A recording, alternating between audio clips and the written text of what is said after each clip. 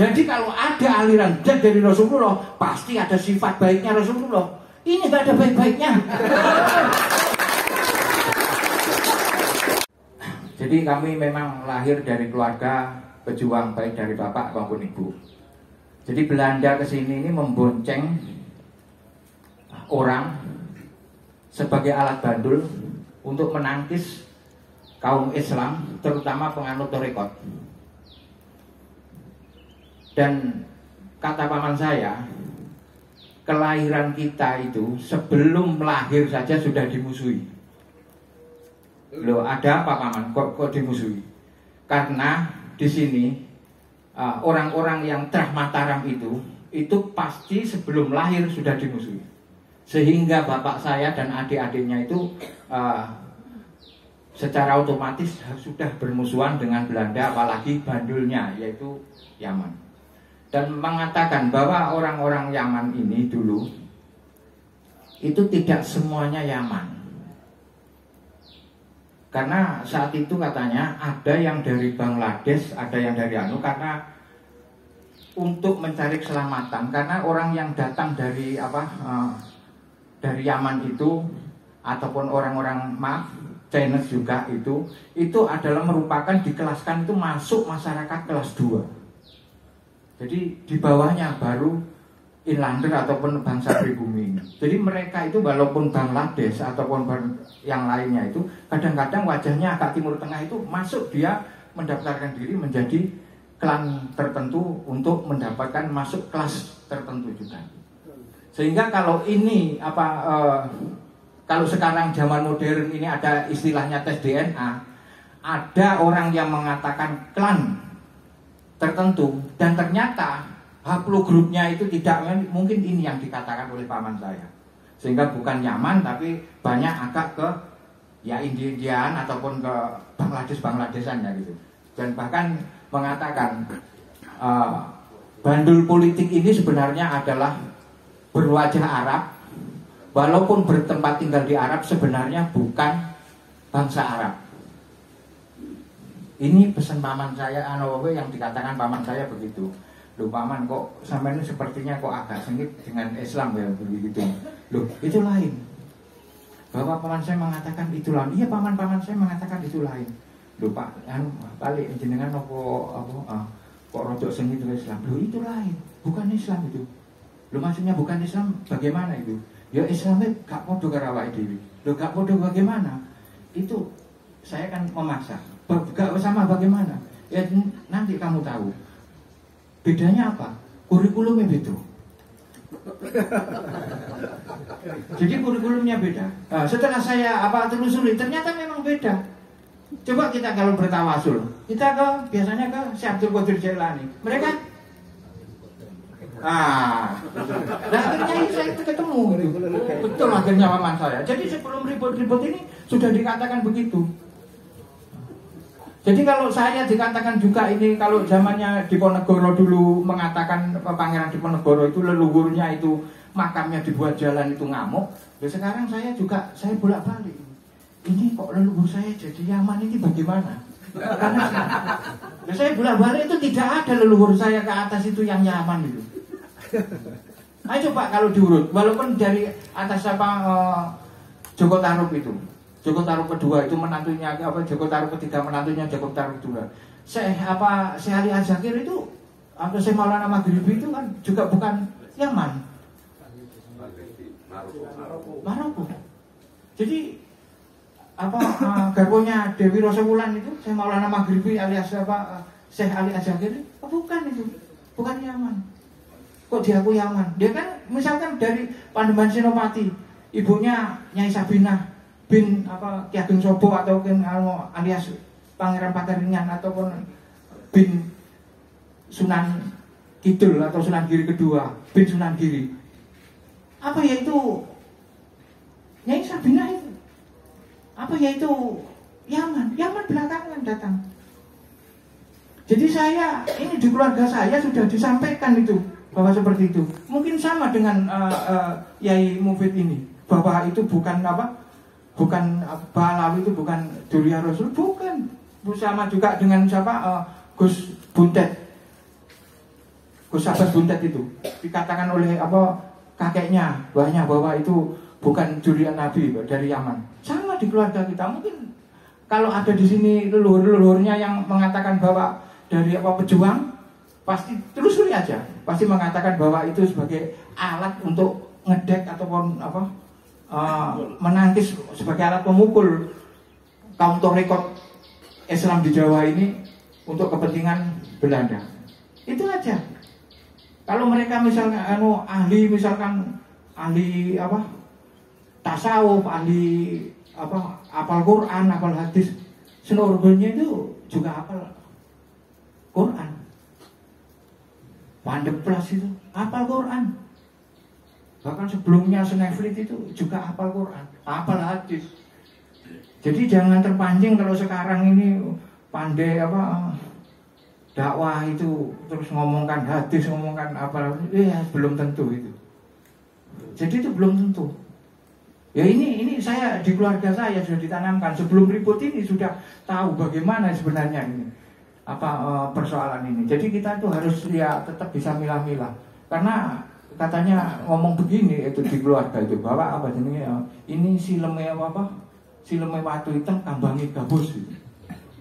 jadi ini Bukan bukan apa, bukan kiai dianggap kiai. Apa yang disampaikan itu sebenarnya katanya dulu nanti ada suatu zaman yang apa eh, tuntunan menjadi tontonan. Coba aja kalau anu ceramah itu sebenarnya bukan ceramah agama itu, ceramah politik. Ya mohon maaf Lutfi bin Yahya itu bukan ulama. Bukan ulama. Kalau standar standar ulama itu kalamul hak.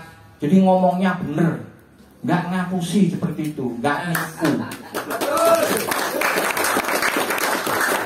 Jadi nggak nipu. Contoh saja mengatakan, Yaman ini negaranya kecil, ya, miskin, Amit ya, saya mungkin GCW angel, air itu sulit bisa, ya, ya, amit aja, mandi mungkin bisa jadi itu.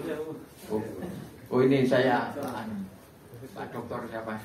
Saya tahunya di YouTube juga.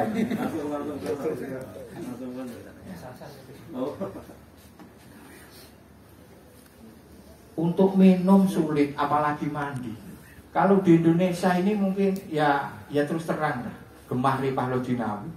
Kok mengatakan bahwa apa uh, orang Yaman kakek-kakek saya dulu datang ke sini membawa harta benda untuk berdakwah dodoki rumah-rumah, satu rumah satu rumah sambil membawa sesuatu. Dari mana? Wong negaranya aja apa? Sulit untuk makan. Air aja mandi belum tentu satu bulan sekali. Jadi ini kan logika yang ngawur lah gitu. Yes, yang nggak nggak masuk ya no. Terus ada ulama dari sana di sini mimpin doa dari Yaman mimpin doa untuk Indonesia Jakartanya untuk apa biar aman tentram. Lalu bagaimana wong negerinya aja gak aman? Jadi ini gak masuk akal. Jadi ini terus ya. Uh, saya terus terang sebagai anak seorang pejuang. Dulu paman paman saudara-saudara ini selalu mengatakan seorang pejuang itu harus berkorban, harus berani berkorban. Dan berkorban itu kadang terkorban. Jadi Gus Fuad misalkan sama ya Mas Fakih ini, sama Bang Bud, ini jangan putus asa. Kalau ano jangan apa gampang terpecah belah kalau ada yang apa narik sana narik sini hanya persoalan-persoalan kecil. Dari dulu juga ada pasti tantangan. Jadi sekali lagi berjuang itu pasti berkorban. Dan berkorban kadang terkorban. Itu. Bahkan nyawa itu. Jadi ini saya dari Banyuwangi itu ingin ngomong dari dulu. Karena saya gaptek tidak bisa saya bikin siapa yang mau bikin untuk apa aja disampaikan paling tidak bersuara. Ya kebetulan saya berada di sini ini. Saya berusaha uh, ngantarkan ke sini sama anak saya ke sini. Dan setiap hari belum bisa ketemu Gus Pat hari ini tahu-tahu di forum yang semacam ini. Jadi ini uh, perjuangan ini juga harus apa diteruskan. Karena terus terang uh, Yaman ini ya, yang kita takutkan kita bukan benci orang-orangnya, tapi pahamnya. Karena paham yang dibawa ini derivasi atau turunan daripada uh, zaman Belanda yang sudah pulang ke Belanda, uh, penjajah itu. Uh, sekarang ini pahamnya itu di keluarga itu mengatakan itu ada dua. Jadi walaupun di dalam pengajian pasti terselip dua itu. Satu itu pendewaan arahnya pengkultustan, kedua adalah uh, penjajahan atau penindasan yang biasa disebut ataupun itu perbudakan. Jadi satu itu pengku arahnya pengagungan atau pengkultusan uh, Ba'alawi sendiri, kedua adalah penindasan atau perbudakan yang disebut para muhibin. Kalau menggunakan istilah muhibin pecinta, pasti lawannya ya apa pembenci. Jadi kalau saya bukan muhibin, saya dianggapnya benci. Saya sebenarnya tidak tidak benci, tapi semuanya pahamnya itu yang apa, yang yang bahaya. Karena tujuan akhirnya, tujuan akhirnya itu adalah uh, mengatakan tetap penjajahan bahwa Jawa ini adalah milik ulama tarim. Tujuannya tetap penguasaan. Jadi ini culture imperialism. Jadi ini penjajahan sisi-sisi budaya. Jadi kalau saya itu mengatakan agama, wah nol, nol, ya ada itu, bukan agama. Jadi agama itu sebagai alat.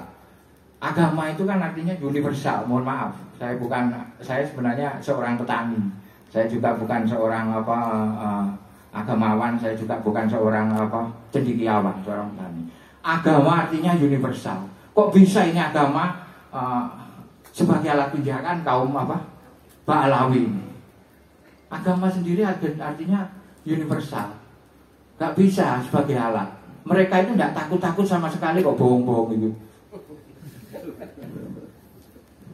Gak takut seperti bohong itu tidak takut ngerampok apa aja nasab orang, tapi teriak bahwa nasabnya dibegal.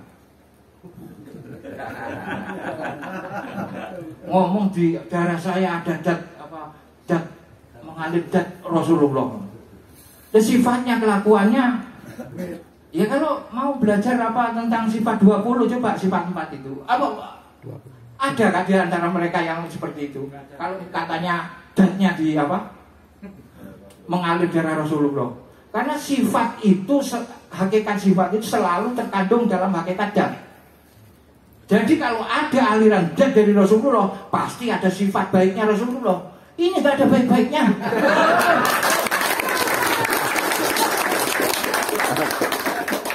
Nggak ada baik-baiknya. Coba, coba kalau belajar tauhid itu. Jadi dat itu sifat itu selalu terkandung dalam hakikat dat. Mana ada? Aduh. Tidak ada sifat baik-baiknya. Wis ini daripada ngatur saya. Sebenarnya banyak gimana? Lanjut lanjut luar biasa.